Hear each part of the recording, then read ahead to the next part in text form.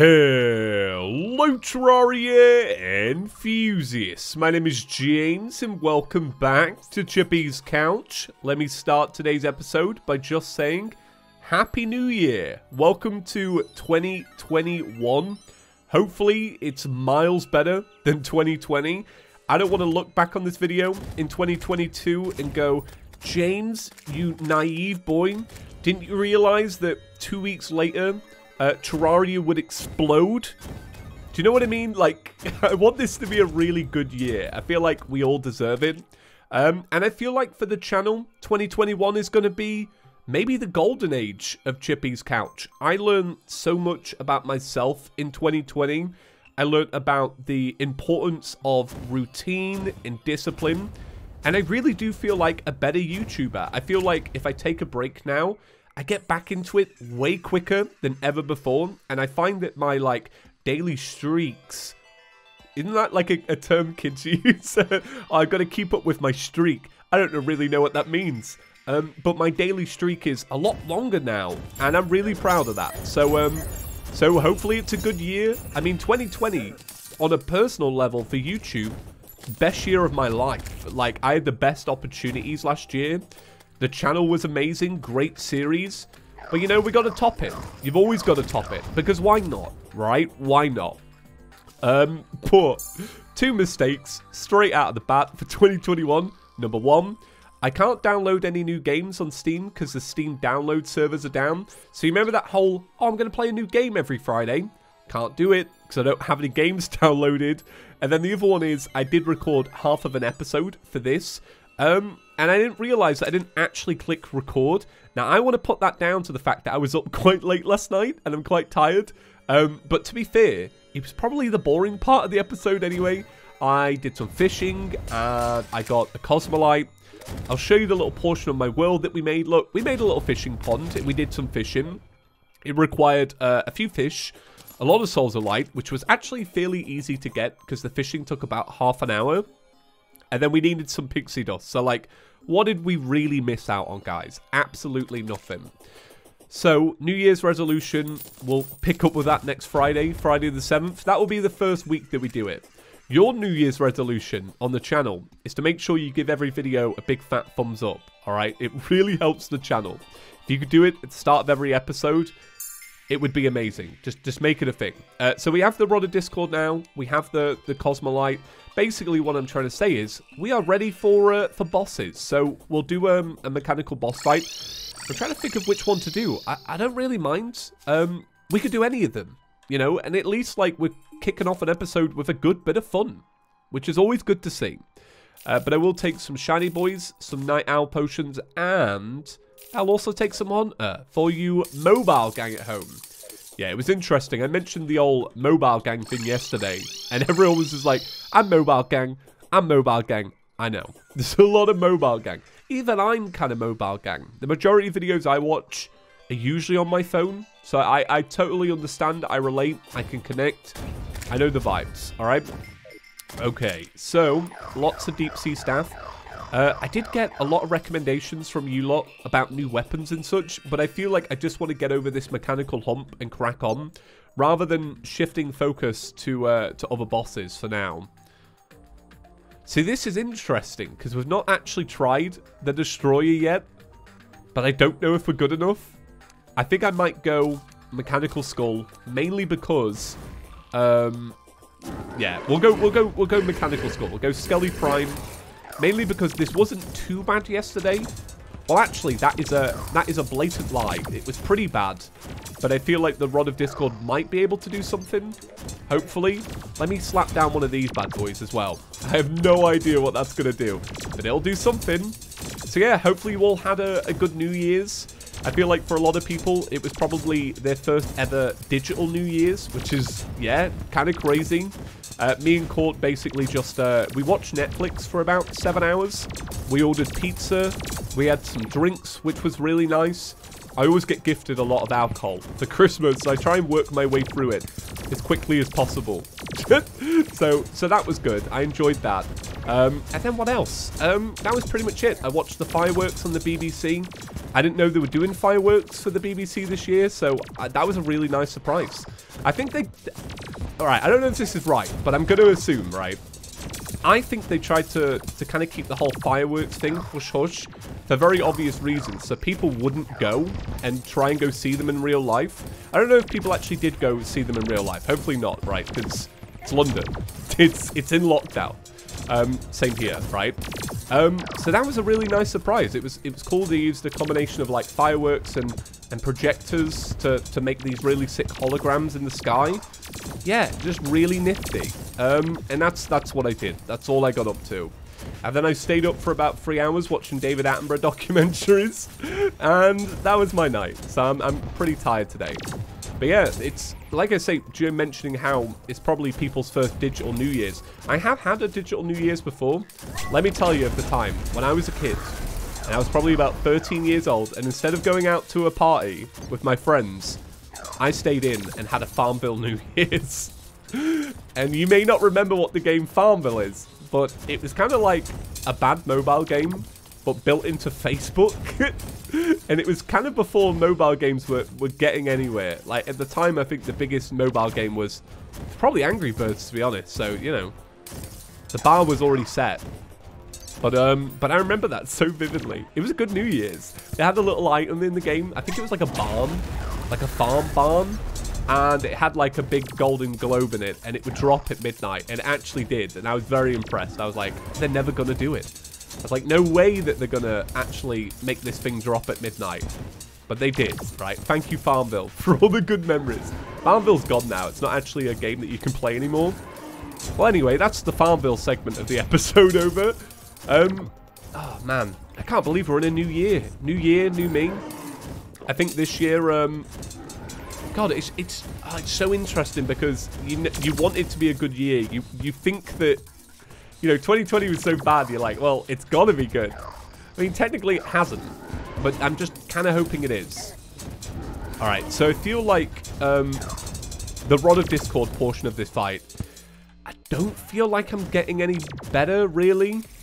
I am also curious. So, you know how in Calamity you've got to hold the summon out to, to get extra damage and such? Um, does that still count if you're just holding a Rod of Discord? I think it I think it only matters if you're holding a different weapon, right? So if you're holding like a bow, it's not like, oh, well, um, do you know what I mean? Kind of hard to explain.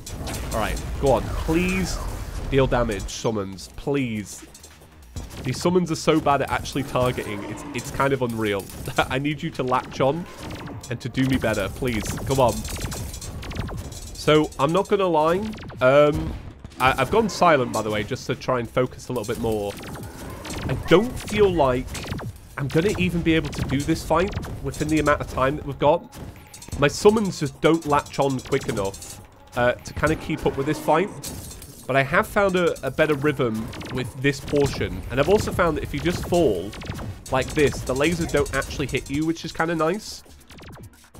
But I need more damage. And I think um, I should have really listened to you lot. You lot recommending better summons. I kind of just thought, oh wow, there's another phase here.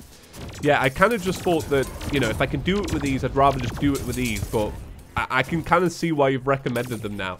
They probably like latched on a little bit better, had slightly better AI, stuff like that. Kind of the, the same issues we've been running into with Summoner all throughout this series so far. It's just that the AI is kind of garbage. And it's the worst thing to say, but it's very true. And apparently it's all like limitations upon limitations kind of thing. But I think a lot of these really need a reworking of something. But um, it was nice because Cargo commented on the last episode. Cargo's actually played Calamity as a summoner. Um, and he said that his biggest hurdle was probably like here. But after this, it all started to ease up a little bit. That's interesting to know. That's interesting to know. I think for me, I just want better AI because if I had better AI, I really wouldn't be um, so upset. But it's weird because you've kind of got to slow down with these fights a little bit. And that's a bit where the challenge comes in. I have run out of buffs. So let me get some more buffs on the go. Alright, and we got another adrenaline hit. So we're definitely doing better than yesterday in terms of just like survivability. But we can't let up. We've got to we've got to stay strong. Oh, it's getting really close, but I'm one hit away from death. So this is not good at all. Please survive. Summons, please hit. Summons. there we go. All right. Skeletron Prime is dead. Nice. And we got some lore. All right. Let's let's start with the lore. Skeletron Prime, what a silly and pointless contraption for something created with the essence of pure terror. Draedon obviously took several liberties with its design. I am not impressed. Christ Calamity, alright, throwing shade. Favorite this item to gain a boost to your armor penetration. However, your max acceleration is decreased due to feeling heavier. Uh, the mechanical bosses. I see you have awoken Draedon's old toys. Once useful tools turned into savage beasts when their AIs went rogue. Very cool. Bam, open this up. Hey, look at that. We got um we got Cenx's set. Also got Lucky on it as well. Kind of cool. Alright, pretty nifty stuff. Um, well, I think because the episode is kind of short, uh, what we'll do is we'll bang out um, another one, maybe? Can I can I actually make another one? That's a good point, to be honest. Um, yeah, I think I've used... Um, hmm, yeah, I've used all my souls of of night. So I've got to do... Uh, i got to do the twins. Go on then. We'll do we'll do the twins. I was kind of debating it. I was like, ah, should we do it? Should we not? All right, let's let's buy some buffs and get into the next fight. This is good though. We're making we're making progress. I think overall, you know, having um a little bit more focus helped mainly. Sorry, I'm just trying to focus now on getting these buffs. Right, Shiny Boys, uh, Night Owl Boys, Hunter Boys, um, Wrath. Let's get some Calamity ones as well. Don't want to forget about them. Cadence, uh, Soaring. We don't need photosynthesis. We'll get the simulant, stimulant, whatever. Get Tesla as well because it looks cool. All right. Okay, cool. So let me get rid of my uh, summoned again. So where are you? Uh, here we go. Right, resummon these in. Nice. Uh, we'll go to the homeland. We'll swap it to uh, nighttime or daytime, then nighttime. All right, cool. Let's uh, let's do the twins. I don't know how this is gonna go. Hopefully better than before. Oh wait, I did it one more time. Uh, bam. There we go. All right, cool. So, uh, so I said the other day that I was to talk about some Pixar movies. I think it's finally the time. I think if I can uh, relax during this fight, I should be all right to, to talk. Um, so yeah, I went on a, a, bit of a Pixar binge over Christmas, mainly because on Christmas Day, Disney were like, hey, you remember that film that was meant to come out, Soul? Well, here's Soul. So I, uh, I started off with Soul, and I really loved it. It was probably the first uh, Pixar movie in a few years that I've seen that I like really enjoyed and I was like this is really creative and it's really clever and it made me think I was it very um you know it had a good message to it you know to it kind of the whole core message of the film was to was to basically to embrace life to not focus too much on your purpose or some main goal. You know it's it's about the little moments. It's about living right? So I really enjoyed Soul so that made me want to watch some others. So then I watched um, Onward, which I completely skipped because I just thought this looks like a kids movie. And I'm not too into kids movies, right? Or plain kids movies, right? It just looked too kiddie. But then again, I was like, this is really good. And I really liked the message. And it was fun. And it's funny. So I feel like I'm becoming a Pixar fan again. I used to love Pixar as a kid, but I kind of went off them around Toy Story 3. Um, but then I watched The Incredibles 2, and that was good. Um, I think it was nice. I went into it with, with kind of no expectations. Whereas I feel like a lot of people that watched The Incredibles 2 probably went into it wanting, um, I don't know, something a bit more because it's been like 15 years or whatever since the first Incredibles. So that was really good. Um, and then I spoke about it a moment ago. Uh, but I, have also started getting into David Attenborough. I'd actually never watched anything about David Attenborough in my life until last week. Um, and then I watched his most recent uh, Netflix documentary, the one that starts in Chernobyl. And that was really good. And I was like, all right, now I'm hooked. So I've been watching um, his documentaries from the 70s. And they've been very cool. So that's what I've been into recently, which has been nice. Um, like I said, like two episodes ago, I picked up some um, some fancy headphones. So I've been kind of just watching a lot more now. Uh, just because I kind of want to listen to the, the fancy sound. Bam. All right. Okay, so I might be silent for a little bit just to enjoy the rest of this fight and not die. Alright, so one eyeball is dead. So now we have to deal with this one, combined with those really pesky uh, shadow flames that kind of uh, screw you over a little bit. So this one is once again a fight against the AI because this is such a, a fast-moving boss. And obviously our AI for our summons is really slow. Which is a bit of annoyance. Frick. Good. this is bad. This is really bad. I think I might have actually ruined this fight for myself. We'll see. Hopefully I can stay a bit more focused. Oh, Christ. No, I, I no, I've definitely lost this one. Oh, this one's brutal. I thought I'd honestly win it. I'm not going to lie. I was like, I went into it feeling pretty good. Nah, no chance. It's so fast. I feel like it's way faster than me. And I feel like, obviously, the Rod of Discord is only so good. You know, it has a, a cap on it of, of how many seconds. All right. So, overall, pretty, pretty successful episode. Um, but not quite, right? Not quite. It could have been a little bit better. So, I think what we'll do then Shall we have a little look at what we need for... Um, I think it was the Souls of Light, uh, Souls of Night, wasn't it? Should we gather some Souls of Night real quick and go see what the, the third boss is about? I think what we'll do is we'll probably do the third boss uh, tomorrow. But we may as well gather all the stuff for it now. Alright, so um, so I've got some Souls of Night. I think we might just do it. I think I can... Yeah, I, th I th yeah, I want to do it. I want to I want to try it. Um, have we got enough buffs to, to get into this? Yeah, we have. We've we've got all the buffs we need. Go on, let's do it. Let's let's challenge ourselves. I want to. Well, it would be nice to end on a big win. Uh, so let's dump in some of these souls. I'm sure these souls are going to be like really useful uh, later on, uh, like for upgrading the the boots and stuff. Uh, mechanical worm. Here we go. All right, honestly, I've got no clue how this is going to go as a summoner. This is not a fight I do very often. Um, well, I've never done this in modded as a summoner, so this could be really hard. Uh, let me let me respawn these. Right, let me let me get all prepared. All right, we're, we're buffed up. Our health's almost full. Uh, we'll change it to nighttime. We're just gonna wait a little bit longer. I just want a little bit more health. Okay, right. Wait for it. I want to get to 520 or get somewhat close. All right, bam. Okay, so what we're going to do is we're going to target it and then get out the way. So immediately, we just lost 250 health just from letting the um, the boss hit me, which was really dumb. That's not a good move at all. But I guess the good thing about this fight is that we can be a little bit more aggressive with where we move because it's not like we're going to get too trapped, mainly because we have um, we have that Rod of Discord. So obviously there will be a, uh, a calamity twist for this. Don't really know what that is yet. It could be absolutely awful. It could be something generic like um, it spits out flaming cursed balls. I don't know. kind of depends. All right, so that's obviously not great. Lots of lots of lasers there. Oh, I think I just remembered that the twist with this fight is that you uh, you need to bring a warmth potion because the fight will freeze you. I think that's what the twist is. so in that case, I don't think I've done very well. I think some of these like electrocute you or something like that as well. Something something bizarre, right? Basically, we're in for a bad time.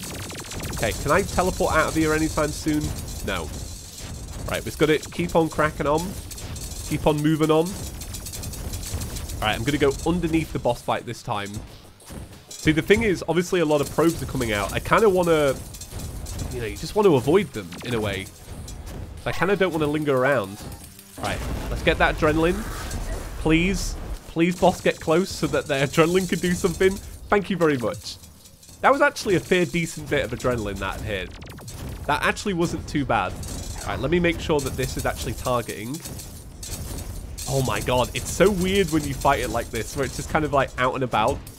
It really is like um like playing Terraria Snake. I bet you. See, I haven't played Snake since an actual Nokia phone. I reckon there's so many different like new remixed versions of Snake that are absolutely intense. There we go. All right, we ended on a big win. Kind of like um like some of the variants of Pac-Man. All right, cool. So we'll open that up. Uh, did we get the, the lore? Let me see if, did I leave it behind? I don't know. What, did I actually grab it? Oh, no, I did. The Destroyer. A machine brought to life by the mighty souls of warriors and built to excavate massive tunnels in planets to gather resources. Could have proven useful if Draedon didn't have an obsession with turning everything into a tool of destruction. Alright, cool. Uh, so that's that done. Alright, this is great. So just one more mechanical boss and this saga is finally over. So just once again, guys, thank you so much for uh, for supporting the channel last year. It was it was just incredible. It really was. We did so much. I want to talk about it real quick. Um, so we had amazing series like uh, Fargo Soul Mod. We had our very own item in Terraria. We launched channel memberships, which was just like really cool. And I love seeing everybody's badges in the comments. Oh god, it like we got early access to 1.4. We got to post the first ever Let's Play episode of 1.4 ever. Um, we had Featherworthy, and we've had this.